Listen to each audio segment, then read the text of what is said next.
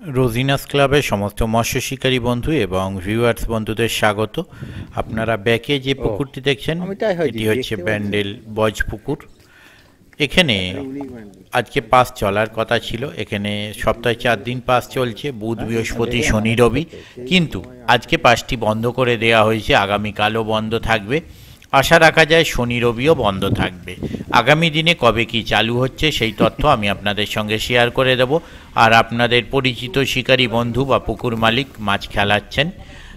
যেটি হচ্ছে আপনাদের পরিচিত শিকারী বন্ধু চন্দনদা উনি মাছটি খেলাচ্ছেন। ভিডিওটি কয়েকদিন আগের ভিডিও মানে এই পুকুর যখন শুরু হলো এবছরের পাস সেই প্রথম দিকের ভিডিও।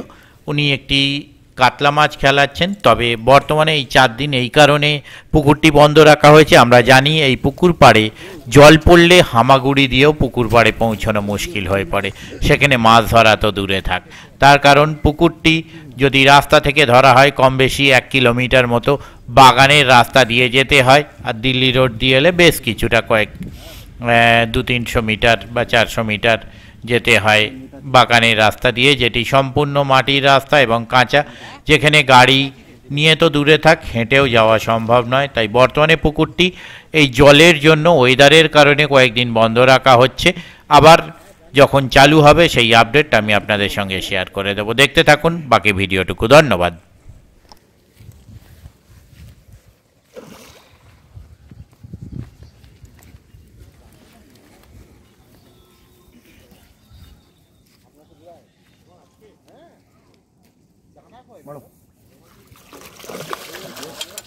ফুল ল্যান্ডিং হলো একটু হ্যাঁ? মুখটা ওইদিকে নিয়ে নিয়েছিল বলে।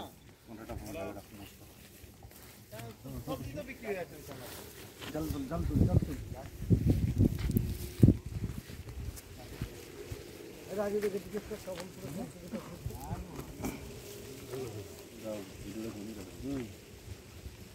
খাদ খুলছে হ্যাঁ হ্যাঁ হ্যাঁ। ওই আপনি যখন খ্যাঁচ মারলেন তখন। কোন দিকে? কোন দিকে?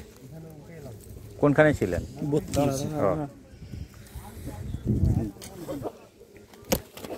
কাতলার সাইজ ঠিকঠাক আছে। হ্যাঁ ঠিক প্রথম দিন থেকেই কাতলার সাইজ একদম ঠিকঠাক।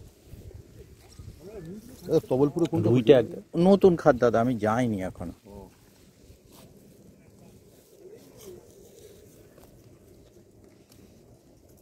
ರಿಪೇರಿ ಮಾಡೋಕ್ಕೆ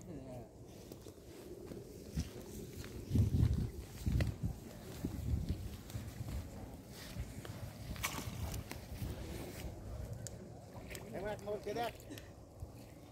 Don't let us do it.